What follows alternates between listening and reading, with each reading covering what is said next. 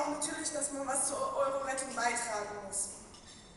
Was uns allerdings fehlt, das ist nämlich ähm, der Austausch darüber und auch die Entscheidungen, die wir heute treffen müssen. Diese Rettungsschirme können nur kurz etwas aufhalten. Gerade beim Thema Euro sieht man das ganz gut. Und eigentlich brauchen wir eine Debatte darum, wie wir gerade solche Krisen auch verhindern können.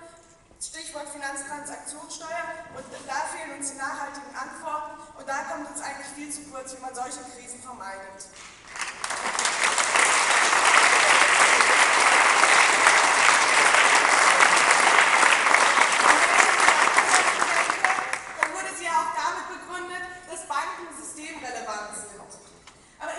vielmehr sind die Menschen, gerade auch die Jungen und vor allem auch noch die Ungeborenen, viel mehr noch systemrelevant als jede Bank in diesem Land.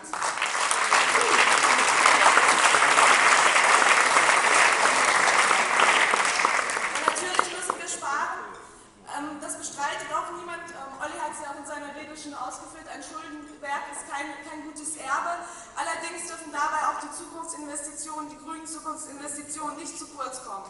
In Bildung, in soziale Gerechtigkeit, in Klimaschutz. Auch das ist etwas, wozu wir den nachkommenden Generationen stark verpflichtet sind. Und auch gerade dafür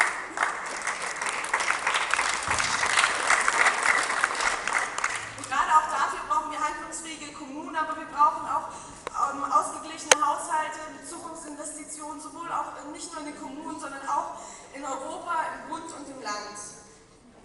Es gilt, gilt nicht an den falschen Stellen zu sparen, es gilt an den richtigen Stellen zu sparen. Wir brauchen nachhaltige Haushalte, die wirklich auch die grünen Leitideen ähm, auch darstellen. Wir haben diese Welt von unseren Kindern nur geborgt. Dieser Satz ist doch aktueller denn je und der ist für uns Grüne auch immer noch ein Handlungsmotiv. Und ein kleines PS, das Schwarz-Rot-Gold ist nicht der wiederentdeckte Patriotismus der grünen Jugend, sondern das Schwarz-Rot-Gold steht einfach für die verfehlte Politik von CDU, CSU, von FDP und von SPD in den letzten Jahren.